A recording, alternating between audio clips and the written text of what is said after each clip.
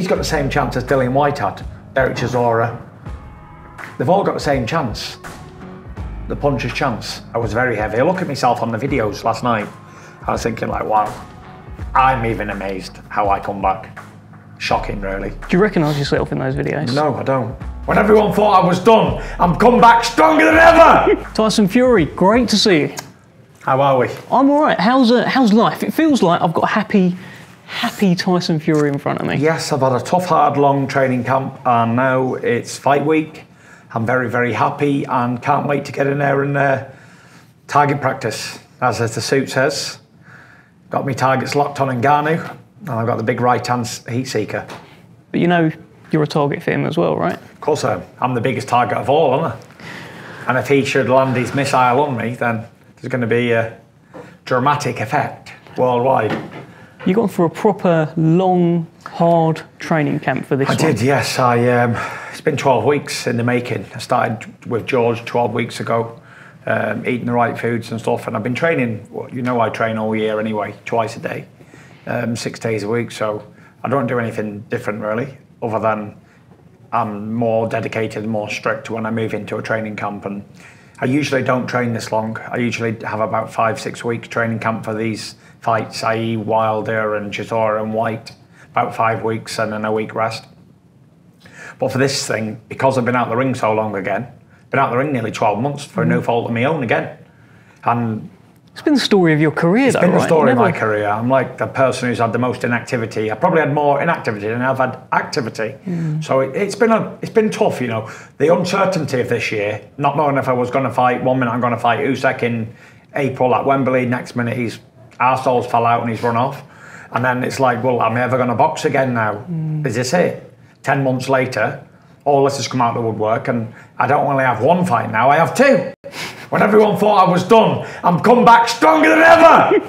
When does that ever happen that you've actually just got your next fight lined up? And by the way, it's the undisputed fight. It's, It's the fight. unbelievable, isn't it? You know, everyone involved has done a, a fantastic, fantastic job because everyone was like, "Oh, we're wrote off.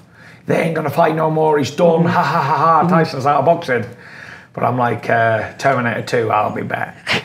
And it, it looks like it's put a spring in your step as well, by the way, because I saw your thing the other day saying that you're going to fight 10 more times.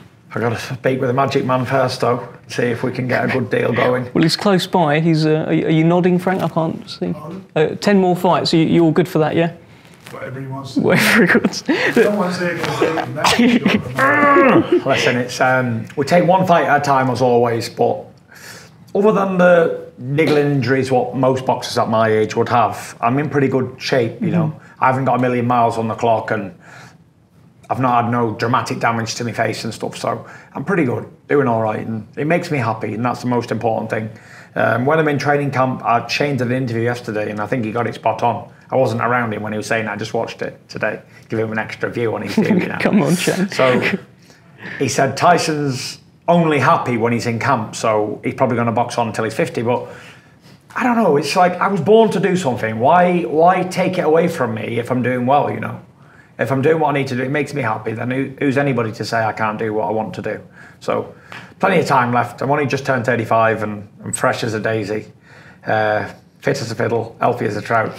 Game as a pebble. If, if we if we sit here today and we think about those ten fights, because I know you keep an eye on, on everyone, the Yeah. division, who's coming through, etc., etc. Off the top of your head, who do you think the ten fights are? Does it matter? We've we've we know it don't matter. You know, it's a Tyson Fury roadshow. Whoever, whoever, whenever, because we, if we go to I don't know Australia, fight the Australian champion, go to Antarctica, fight whoever that is, go to Mexico, fight Mexican. Know, we can just take this on the road because it's that big. It's the world's biggest travelling circus, literally. so it, it's it's been a fairy tale mid end to my mm-hmm. career.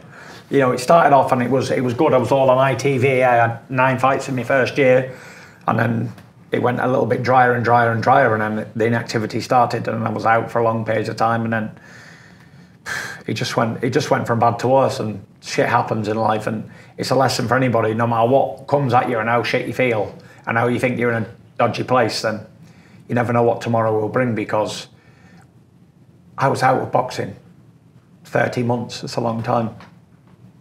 Um, and I didn't think I was going to come back at any stage. I was very heavy. I look at myself on the videos last night. I was thinking, like, wow, I'm even amazed how I come back.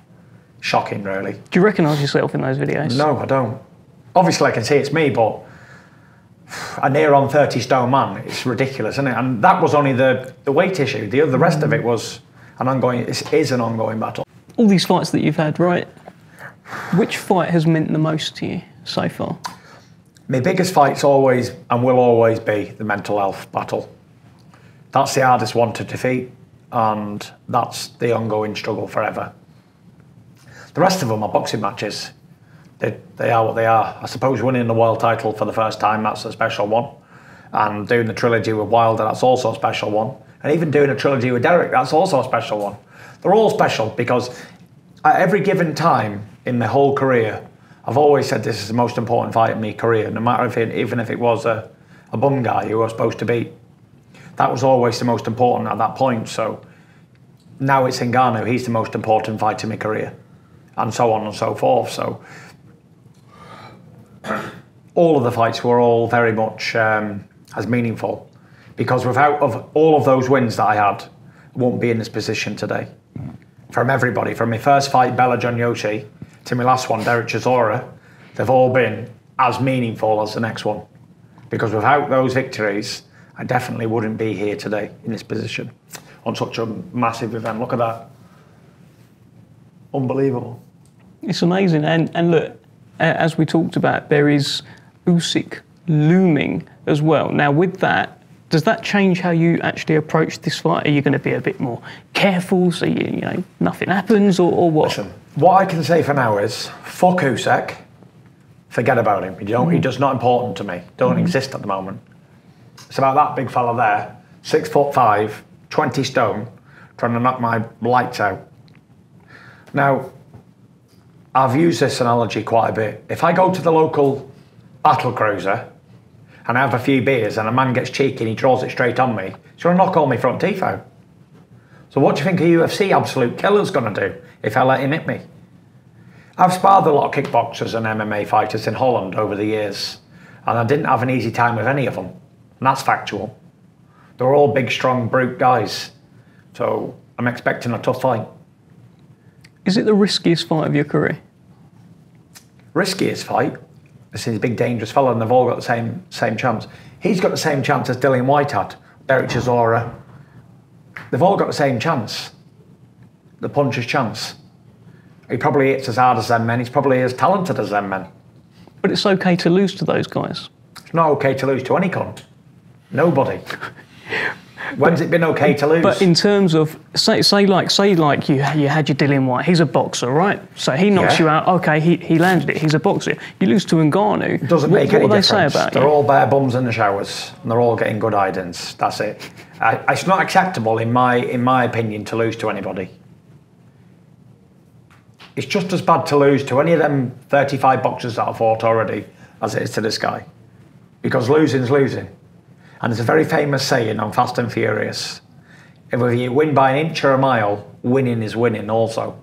And I'll take victory over a loss anytime, no matter how it comes. Whether you scrape a victory, you steal a victory, or is a victory easy? Victory is victory. What do you think you'll weigh for this fight? Well, I'll weigh, same as I always weigh for all my fights. Just under 19 stone, just around that, that somewhere. Is that sort of optimum Fury weight now? Yeah. Since I got into my 30s, around about 18, 12, 18, 10, is where I always aim to be. And although I've weighed in at 19, 11, 19, 10 for Wilder and that, that wasn't me weight on the morning of the fight, or the weigh-in rather. The morning of the weigh-in, I would always hit that weight of 18 stone 12. That's my target. And even on the fight day, I'll be around that weight anyway. But when you drink two gallons of water and you have three meals before you weigh in, you're going to be heavier. But make no mistake, all of those fights, I've hit that target of 18 stone 12, 18, 11. We've seen in the Wilder fight, especially like the last two fights, you're able to just lean on him and you exhaust him, all of his energy. And you sometimes you're 50 pounds heavier than him. Now in Ngannou, he's going to be a big lump as well. Do you think you'll be able to physically dominate him inside the clinches, or is I think so, yeah. I don't think there's anyone can live with me at that, that um, battle game. Nobody. I've never ever met anybody who can actually. They all fall to pieces after around about six, seven rounds. The strongest, biggest, fattest men that I've ever fought or sparred with, when you leave them in there, round about six, seven rounds, they start falling to pieces looking for a way out. No matter how big or tough or strong they are, they always um, they always come second best when it comes to trench warfare. I've heard you say you know you're going to beat him because his body's too good. Yeah. Tell me about that. A man who's built like him won't be able to beat me. He's got a six pack, he's ripped. I eat six packs for breakfast. and that's what we do with them. The uh, has he got a better chance uh, against you than Conor McGregor did against Floyd Mayweather? That that seems to be the general kind of chat around this. I think he does have because he's got obviously knockout power. This fellow, he's a big heavyweight, isn't he? So he'll um, if he detonates on your jaw, you'll be uh, hurt. Whether he can finish a man or not, I've no idea. Here's the here's the thing, right? This man is uh, supposed to be the hardest puncher in history, isn't he? Right. When he hit a pad that didn't move in front of him. Okay, great. Tommy, my brother Tommy, can hit as hard as any heavyweight that you'll ever hit on the pads. Velocity, very hard. But yet he can't knock out KSI or Jake Paul because he doesn't have the experience to set the punch up. Do you understand where I'm coming from? Yeah. I actually lost a lot of money when Tommy fought Jake Paul because I bet 100% that this YouTuber is not going to take Tommy's power. No way. Tommy hits me in the guts and hurts me. He hits very hard. When we're body sparring, he hits me all up the arms, and you're, oh, my arms are sore. I'm thinking this YouTuber's not going to be able to take this power. So I bet him heavily to win by knockout. And he won on points because it's an experience thing. If you're standing there and let someone hit you, bang, bang, bang, you're not moving anywhere, they're going to hurt you. But when you've got to set it up behind an educated jab and trap somebody to like walk onto something, they can't do that. Only the most experienced fighters can set somebody up and, and knock them out. Is it hard to prepare for someone like Ngannou though in No. terms of? But you don't know what he's going to do, right? I do know what he's going to do. What's Same as they all do. Big right hand over the top, hit the body. Hit a fat man's body or take his jaw off with a right hook. Same old cliche. There's only one thing they can do with me. They're not going to outbox me. That's the fact. Because I'm too big, too awkward, and throw too many punches. Uh, so the only chance they have is to knock somebody out. And to knock me out, it's very difficult, as I've proved. It would seem that it, it's very difficult to, to knock me out. He says he wants to show the world he can box as well. Good. I hope he does. And I want to show the world I can wrestle. Do you think he'll try anything funky in there? I don't know. I don't know. You never know what a man will do when he's under pressure. Don't know. But I think he's a professional. He took it very seriously. He's been over here three weeks before. He's um, 100% in his mind he's going to win. So you have to take somebody like that serious. But when you get in the ring with somebody, things change. I've seen even the, the top prospects, top heavyweight contenders, top champions. As soon as they get in there and they, they move around with me for a couple of rounds, they realise, shit, this is hard. Uphill battle here, fucked. And that's it. So hopefully it'll be the same with him. Do you think you, you can dishearten him quite early then? I think I'm going to knock him spark out. I saw you tell Yeah. him that on the Carl Frampton thing. Yeah, I will. I can't, I'm going to miss him, size of him. He's got a head in him like a five gallon drum. So, listen, it like I said, target practice. And that's what, it, what hopefully it'll be for me. I'll set him up, nice few jabs head and body, and walk him straight onto a big one. When he's trying to hit me with a big hook, whap, short right hand, straight onto the jaw, game over. Do you think you can get any better now? Yeah. My my biggest thing is activity. The more fights I have regularly, the better I am. The more inactivity I have, I win it on heart and guts alone. If you saw the second Wilder fight, I was coming off Wallin, Schwarz, a wrestling match, and a training camp. Yeah. Four, four, four events back to back, and absolutely battered Wilder. Didn't land any punches, anything. I had nearly two year out of the ring for the, the trilogy. Look at look at that, got nearly wiped off the canvas. You had to drag me off the floor on guts and heart and alone to win the fight because 22 months out of the ring. So inactivity killed the cat, and that's the fact. If you've got a young fighter who's had one fight all year, you've got another young fighter who's had six or seven, It's not hard to know who's going to win that fight on activity alone. But it doesn't happen every time, as we've seen. When Frank got Chisora five good wins on the spin mm-hmm. against top opposition, and I'd had one fight in two years, come out and still done him. But I am an exception to the rule. But usually, it's activity. The man who's active and match fit will win to a man who's been out the ring years. It's very difficult to come back. That's why I'm the only heavyweight champion ever that's come back and didn't lose. Any lineal champion who came back from long retirement stints, they all got battered, every one of them, apart from me. And I almost got chin dinner, so I had to break that old uh, rule. On the lineal um, status, do you think you can beat Joe Louis's record? Joe Louis's record of 12 years. I'm the second longest reigning champ. You're catching up. Can you 12 get it? years is a long time, and I'm only on about seven and a half, So if you want to do 10 more fights, you. maybe. But I'd like to do 10 fights in two years, Okay. not 10 fights in 10 years. Frank's getting twitchy. I'm just, just Yeah, if I'm going to do these big loads of fights, I want to rack them up quickly. I don't want to be waiting around. Like this year, 11 months since I last fought. Like I could have had at least two or three fights in this year alone.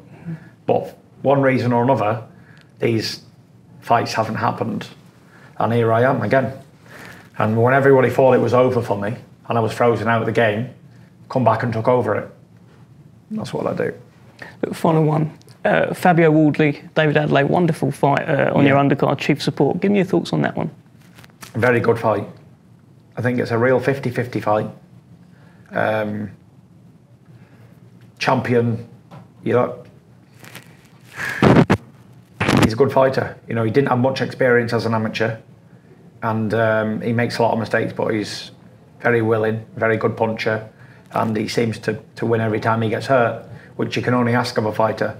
I've seen him get hurt by Nathan Gorman, I've seen him get hurt by a few other fighters, hit cut, whatever. And it seems like when you hit him really hard, he fires back and he knocks him out. So that's what you want to see from a young heavyweight coming up. And David, obviously, I've had Dave in my camp quite a lot for Wilder, most of the Wilder fights and other times as well.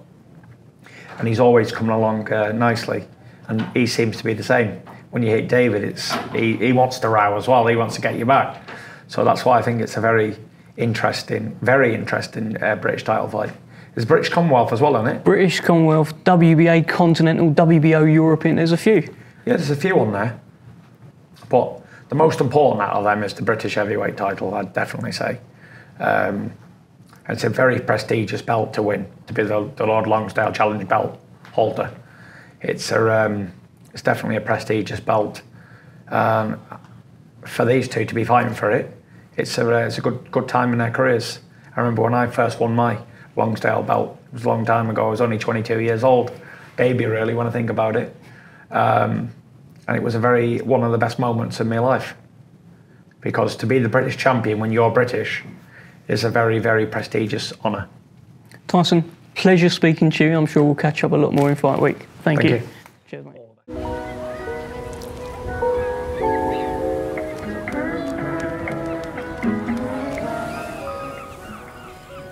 This is nice, isn't it? Yeah. I just wish we were somewhere with a little more action.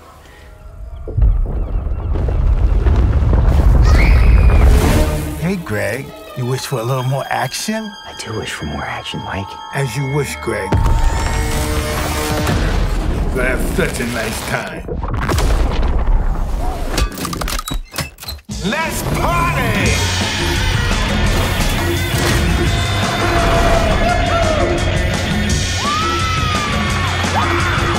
Greg, we're just getting started. Bye, sucker. For a little more? Is